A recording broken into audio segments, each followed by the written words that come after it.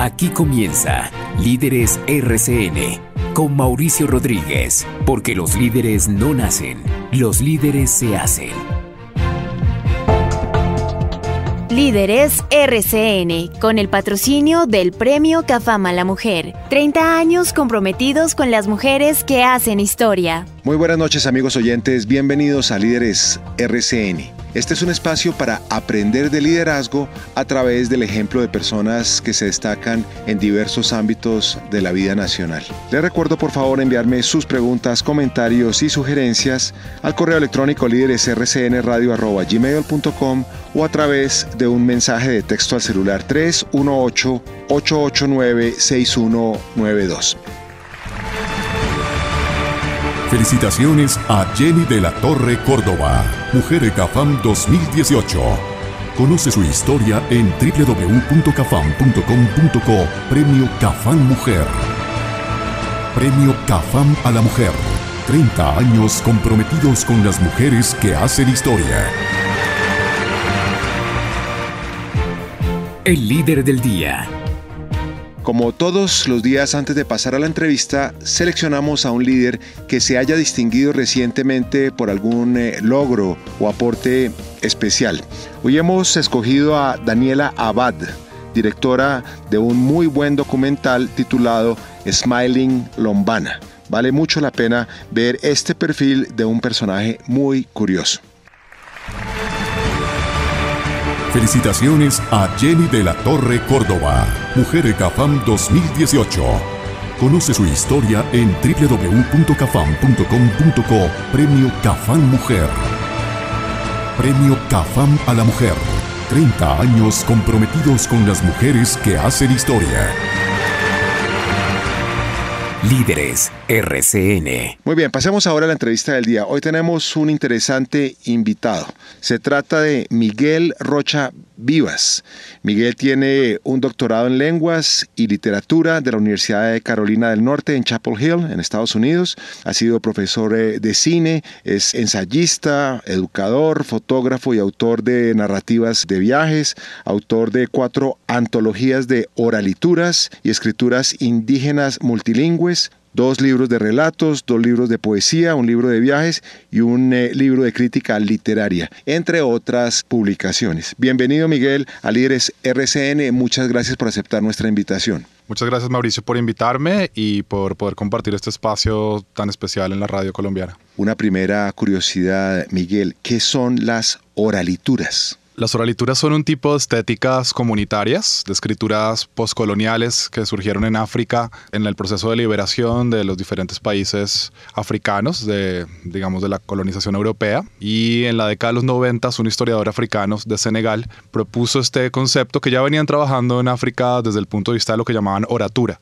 Pero la oralitura realmente es un tipo de escritura que, como dice el escritor mapuche del sur de Chile, Elikura Chihuailaf, transcurre al lado de la oralidad de su gente.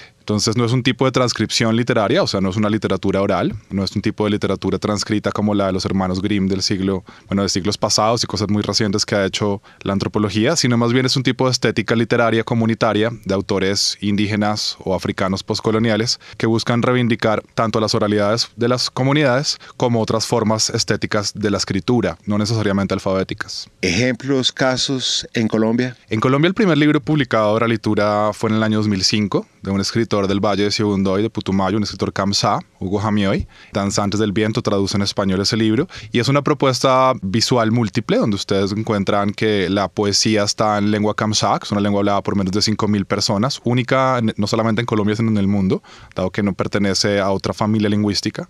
Y en ese libro usted puede ver como todo el sistema de comunicación visual de las mujeres Kamsa a través de, los, de las fajas tejidas o los chumbes, ideografías muy, muy profundas, simbólicas. También las máscaras talladas comunitarias y el ejercicio de dialogar con el texto poético inspirado en la oralidad de los mayores. Hay algunos textos que no son necesariamente inspirados en proverbios, porque aún muchos de ellos lo son, otros están inspirados en el conocimiento de plantas medicinales y algunos funcionan como textos de interpelación intercultural. Dice, por ejemplo, Jami hoy, una experiencia muy fuerte fue cuando llegaron algunos funcionarios del ICBF, del Instituto Colombiano de Bienestar Familiar, y había la idea un poco de que los niños en las comunidades estaban trabajando porque los veían con los abuelos y los padres en los campos de cultivo. Entonces un texto de oralitura clásico es ese, que es más de respuesta intercultural. Cuando dice Jamioy el texto literalmente en español, no es que esté obligando a mi hijo a trabajos forzados en la tierra, solamente le estoy enseñando a consentir a su madre desde pequeño. Qué maravilla, qué interesante este campo de estudio suyo. Es usted un gran investigador. ¿Cuáles han sido sus principales investigaciones y las conclusiones más importantes de esas investigaciones, Miguel? Pues yo tengo la fortuna de, ser parte más bien como unas redes de colaboración y diálogo intercultural, donde no tenemos como la pretensión de categorizar eh, la relación con otras voces o otras escrituras, sino más bien como estructurar y construir diálogos, como lo que tú haces en este programa. Entonces el último libro que sale ahora en la Feria del Libro va a ser lanzado por la Universidad de los Andes y la Universidad Javeriana, se llama Mingas de la Palabra, es mi trabajo doctoral que fue publicado por Casa de las Américas de Cuba, que es una institución que ha venido premiando escritores latinoamericanos desde la, después de la revolución. Usted ganó el premio en el 2016. Sí, el año pasado se publicó el libro, ahora por primera vez va a estar disponible en Colombia y se llama Mingas de la Palabra, justamente basado en esta idea de la minga. Muchos han escuchado tal vez el concepto de la minga comunitaria del Cauca y la minga en realidad es un proceso que se hace colectivo de construcción, donde se puede construir desde una casa hasta cultivar un campo y en este caso las mingas de la palabra son esas construcciones de conocimiento compartido partido donde intervienen obviamente personas de las comunidades, pero también en muchos casos personas como nosotros que estamos interesados en establecer diálogos a través del arte, del estudio y, de la apreciación de, la, de las oralidades y las oralituras. Miguel, usted es un gran eh, conocedor de las lenguas de las comunidades indígenas en Colombia y en otras latitudes. ¿Cuál es el estado de esas lenguas en, nuestro país? Hace poco le escuché una conferencia al gran eh, profesor eh, Wade Davis sobre la extinción de muchas lenguas indígenas en el mundo. Él hablaba de una cifra aterradora, no sé, como la mitad de las lenguas se van a perder en los próximos 5 o 10 años. Un dato que me impactó mucho. ¿Cuál es el diagnóstico de la situación en Colombia? Bueno, en Colombia se estima aproximadamente 65 lenguas indígenas, más las otras lenguas nativas que son la creol de San Andrés y Providencia, la creol también, o criolla más bien de Palenque de San Basilio, cerca de Cartagena, la lengua romaní o gitana y la lengua de señas, que es la última lengua añadida a las nativas. Dentro de las 65 lenguas indígenas, más de la mitad de esas lenguas son habladas por menos de mil personas y gran parte de estas lenguas están en proceso de peligro por la posibilidad de que sus hablantes no la continúen hablando, por la presión social que existe, por la imposibilidad en muchos casos de continuarlo haciendo, sobre todo en territorios que han estado muy impactados por la guerra y el extractivismo hoy en día, que es otro tipo de, de conflicto muy fuerte en el país. Y eso es en un panorama realmente fatal, que como bien lo comentaba Wade Davis, son aproximadamente entre 6.000 lenguas promedio, porque algunos hablan entre 5.000 y pico, 7.000 casi, 6.000 lenguas promedio en el mundo, y sí, los datos de los, de los lingüistas apuntan a que la mitad de esas lenguas van a desaparecer en el transcurso de este siglo. Datos como de publicaciones científicas como National Geographic están, afirman que en ese momento desaparece una lengua cada dos semanas en el mundo. Qué tristeza. Es algo realmente muy fuerte. Sin embargo, por otro lado, hay un gran lingüista, Yves Moñino, de Francia, que es el que está haciendo el diccionario de la lengua palenquera en Colombia. Y me llamó la atención sobre algo muy importante en un encuentro que tuvimos en Francia, y es que el proyecto de recuperación de las lenguas no debe ser simplemente un proyecto de lingüistas, en el sentido de que ningún lingüista puede en sí mismo recuperar una lengua más que datarla o tal vez pueda estimular procesos. Esto depende mucho de que la gente encuentre la necesidad de hablarla, que la gente quiera hablarla y que ocupe todavía un lugar de prestigio dentro de determinada sociedad. Sí, y eso hace más atractivo, más interesante para todos los demás que no conocemos esos mundos, que no conocemos esas lenguas, esas comunidades, esas formas de vivir. Hay un puente de, comunicación, hay una relación más estrecha y eso permite preservar esa lengua que como yo le he escuchado a usted y al profesor Davis y a otros expertos en estas materias, una lengua es mucho más que una lengua, que una forma de comunicarse. Una lengua es un universo. Es una forma de interpretar la vida, es una forma de expresar la, la existencia. Lo que se pierde cuando se desaparece una lengua es realmente de, un gran valor cultural. Desaparece una visión de mundo, una forma de comunicarse con la tierra, no solo entre los seres humanos, sino con los animales mismos, una forma de, de comunicación profundamente simbólica además. Entonces, claro, en Colombia todavía tenemos la idea de que hay unas minorías étnicas que son realmente, de acuerdo con el censo del 2005, eso va seguramente a cambiar, va a aumentar, era el 3.4 de la población, pero ese 3.4 minoría, entre comillas, habla 65 lenguas diferentes al castellano. Y eso hace que son 65 visiones de mundo diferentes, que además son diversas en sí mismas. Y una lengua indígena debería ser tan importante para nosotros como lo es una otra lengua del mundo, como lo es comúnmente una lengua africana o hoy en día el mandarín o el árabe. Esas lenguas deberían importarnos más, pero no solamente por, por un paternalismo, sino realmente por la posibilidad que tenemos de, de, de estructurar horizontes en común, de construir conocimientos que sean útiles para todos. Aprender. De aprender, de aprender en un país que se declaró pluriétnico y multicultural en el 91 y que hasta el 2010 promulgó la ley de lenguas nativas, todavía estamos muy lejos de verdad de poder tener un panorama mucho más intercultural, porque una cosa es la multiculturalidad, que es un poco la aceptación, la tolerancia de que hay diversidad, pero otra cosa es construir una interculturalidad, una red, unas, unas conexiones, unas construcciones sociales donde estemos todos implicados, más allá de las diferencias que creemos tener en muchos casos con, con lo que también son nuestros propios orígenes, porque nosotros estamos también muy implicados. El castellano que hablamos está permeado de muchas lenguas nativas y las mismas territorios que habitamos son territorios que han sido poblados por miles de años por poblaciones nativas. Estamos con Miguel Rocha Vivas, doctor en lenguas y literatura de la Universidad de Carolina del Norte. Hacemos una pausa en Líderes RCN y ya volvemos. Quiero contarles que más de 600 líderes ostentan el título de Mujer CAFAM por sus departamentos, más de 600 obras visibilizadas como apoyo para su sostenimiento. Premio CAFAM a la Mujer, 30 años comprometidos con las mujeres que hacen historia. Líderes RCN, dirige Mauricio Rodríguez. Felicitaciones a Jenny de la Torre Córdoba, Mujer CAFAM 2018. Conoce su historia en www.cafam.com.co Premio CAFAM Mujer. Premio CAFAM a la Mujer. 30 años comprometidos con las mujeres que hacen historia.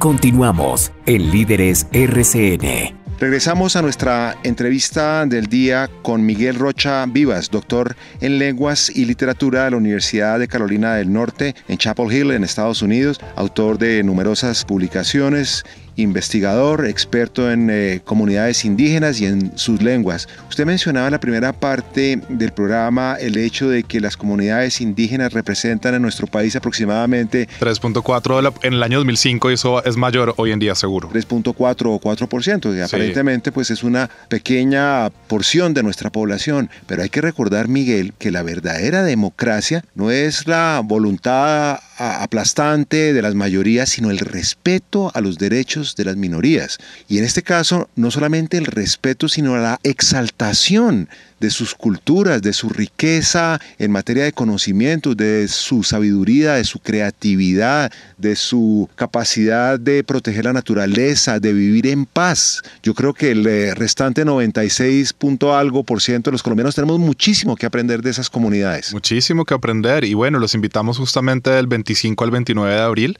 la Universidad Javeriana, la Biblioteca Nacional y la Feria Internacional del Libro de Bogotá. Somos la sede del el quinto encuentro continental de literaturas amerindias que es un encuentro que convoca a escritores en lenguas nativas de todo el continente, desde los Estados Unidos hasta Chile, muchísimos obviamente de Colombia, también académicos que nos dedicamos al diálogo intercultural, estudiantes. Pueden consultar la información en www.red-intermedio-eila.com. Van a estar eh, abiertas las inscripciones la próxima semana y bueno, pues ojalá puedan participar de los recitales públicos que van a haber tanto en Biblioteca Nacional, Javeriana y Feria del Libro. Allá estaré sin duda alguna. Me parece maravilloso lo que están eh, organizando ustedes. Miguel, una inquietud a título personal. No le hablo al doctor en lenguas y literatura, sino a Miguel como persona, como individuo. En su contacto con nuestras comunidades, las comunidades indígenas de Colombia, ¿qué es lo que más lo ha impactado, lo que más lo ha conmovido, lo que más lo ha impresionado, lo ha marcado para su vida personal?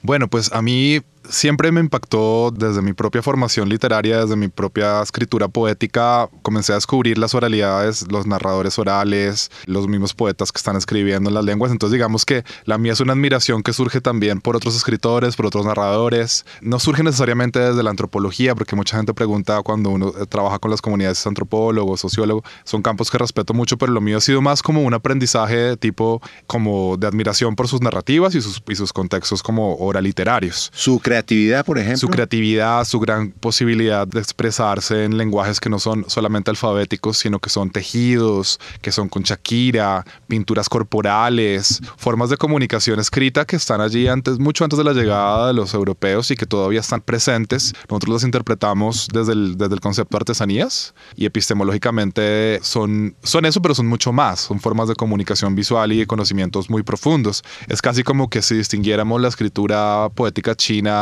de ideogramas como artesanía. Claro, lo es y es muy valorable, pero también es un conocimiento simbólico muy profundo para transmisión del pensamiento. Entonces, bueno, en lo particular ya en el acercamiento a las comunidades, yo trabajaba mucho con jóvenes en la ciudad, a mí me interesa mucho el trabajo de los jóvenes que emigran a Bogotá, a otras ciudades. Me ha interesado mucho pues aproximarme a sus procesos, acompañar, colaborar en lo que ha sido posible, aprender siempre sobre todo más. Y ya en los territorios es muy interesante la, la relación que tienen con los mayores, ¿no? Con las personas mayores. Alguna vez hablábamos sobre esto, ¿no? Porque en estas sociedades nuestras industrializadas, macro. Los mayores se vuelven un estorbo, un, un estorbo y terminan en, en lugares. Y en cambio, estas comunidades aprovechan su experiencia, su sabiduría, su serenidad. Exacto. Y gran parte de estas literaturas están inspiradas. De hecho, casi que no hay ningún escritor indígena actual que nos cite a su abuela, a su abuelo o alguna persona de la comunidad. Hay una, un gran respeto por la palabra.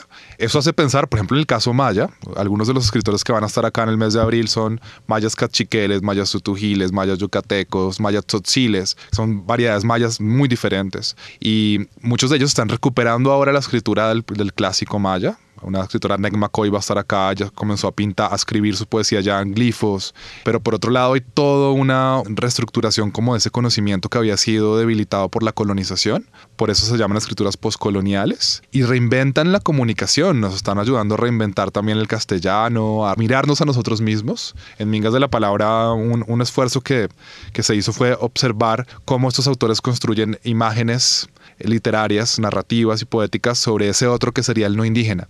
Porque, digamos, históricamente en la antropología el otro ha sido el indígena, el indio, el negro, el, sí, bueno, todos esos estereotipos, ¿no? Aquí hay toda una construcción también de qué es aquello que no es indígena. Muy curioso. Las multinacionales, los investigadores. Claro, esos son los verdaderos. Los turistas, bueno, la mirada de los extraños, extranjeros, foráneos, porque estas comunidades llevan miles de años. Claro, sí, entonces... Todo lo reciente es eh, absolutamente marginal, secundario, si uno se pone a, a pensar en el tiempo que llevan eh, estas comunidades habitando estos territorios. Estamos hablando de muchísimos años y aquí quiero retomar un concepto que le escuché a usted en Cartagena en el Hey Festival de, de Literatura. Un poco una discusión que aparentemente es bizantina, pero no lo es tanto, sobre cómo se deberían denominar primeros pobladores, indígenas, nativos, etcétera. ¿Por qué no nos cuenta un poco sobre esa reflexión? Pues lo importante es cómo la gente quiera denominarse. A veces cuando hablamos de indígenas, de pueblos indígenas, estamos generalizando demasiado. Es algo que ha sido necesario por los procesos coloniales,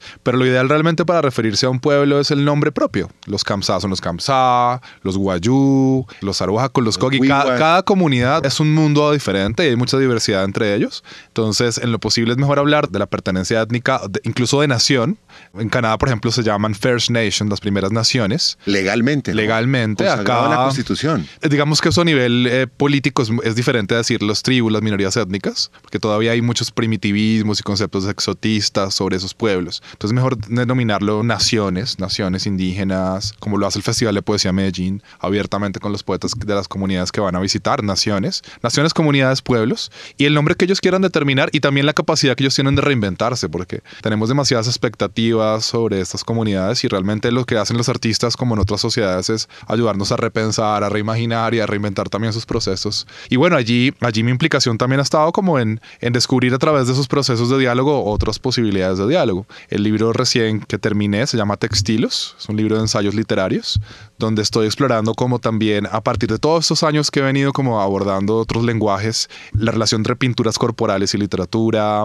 Hay un libro fantástico de un escritor chino que escribió, lo llaman una novela, realmente yo soy crítico de esa idea de que es una novela, pero sí es una narrativa extensa donde se construye toda la idea de un, un personaje de oficina, eh, 24 horas, un pequeño Ulises, ¿sí? A partir solamente de, de lenguajes de emoticones de celular. Increíble. Entonces, es, digamos, Subin, que se llama el autor, Subin es un crítico de, del sistema autoritario de la escritura china tradicional. Hizo algunas exposiciones, se llaman Libros del Cielo. Es muy rígida, que es Pues él, digamos, de alguna manera él dice que esas escrituras ya estaban estructuradas simbólicamente, el significado está establecido hace miles de años, ¿no? Porque pues, la tradición china es muy milenaria realmente. Entonces ahora hace una primera exposición donde construye cientos de caracteres chinos, visualmente que uno no podría identificar qué son, y a la hora la verdad ninguno tiene significado, todos son creados por él. Y en esta nueva narrativa que él construye hace todo lo contrario. ¿Cómo podemos narrar una novela que llama él solamente con el lenguaje del celular, porque pues obviamente estamos en este cambio, en esta readaptación de la comunicación a través de los sistemas de teléfonos celulares,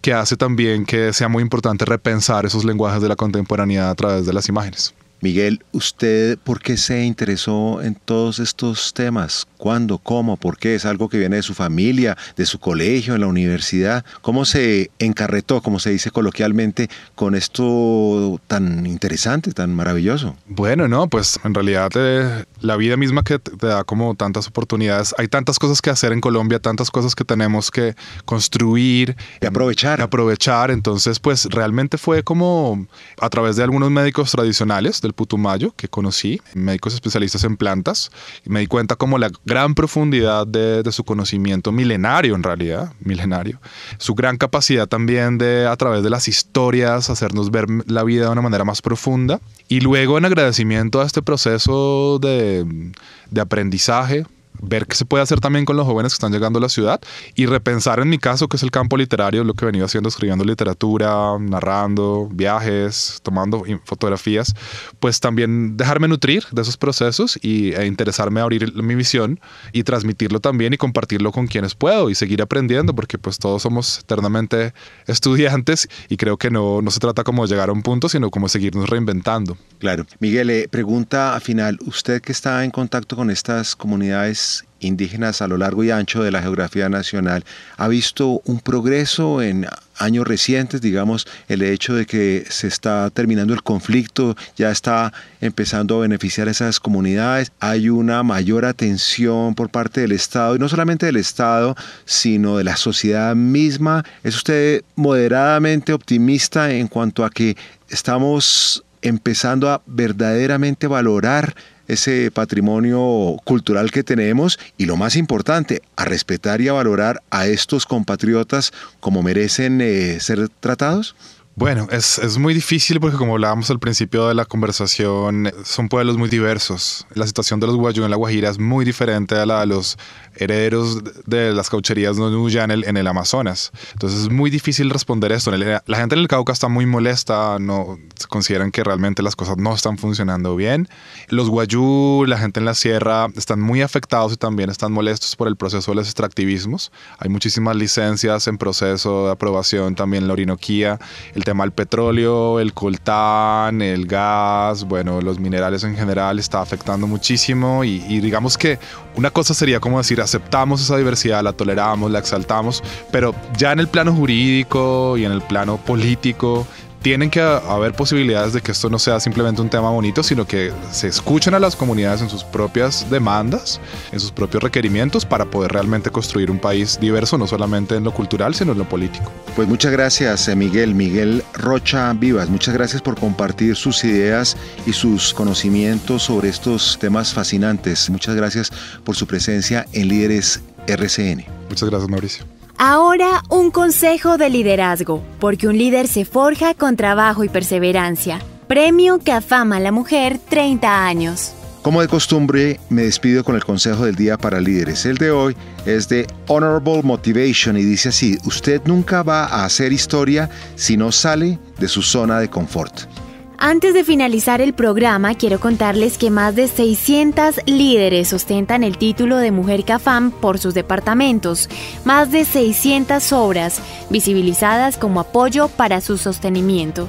Premio CAFAM a la Mujer, 30 años comprometidos con las mujeres que hacen historia. Muchas gracias amigos oyentes por su amable sintonía. Los espero el lunes a las 8 y 30 pm en Líderes RCN. Muy buenas noches. Líderes RCN. Líderes RCN. Fue patrocinado por el Premio que afama a la mujer. 30 años comprometidos con las mujeres que hacen historia.